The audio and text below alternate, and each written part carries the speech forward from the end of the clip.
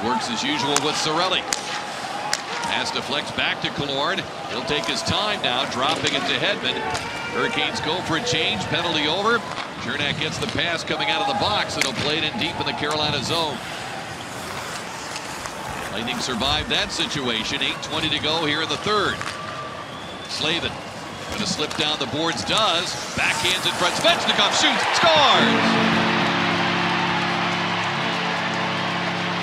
Andrei Svechnikov gets Carolina on the board with 8.12 to go in the third.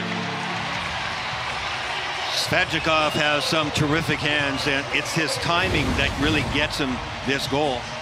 On the attack, nice job by Slavin, the defenseman.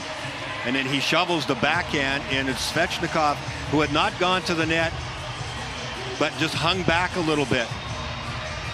Comes in, his timing is perfect, and makes a beautiful shot. Watch Vasilevskiy's reactions there. Vasi comes out. You can see flinch just a little bit to his glove side, the far side. So Svechnikov must have shown him something with the angle of that.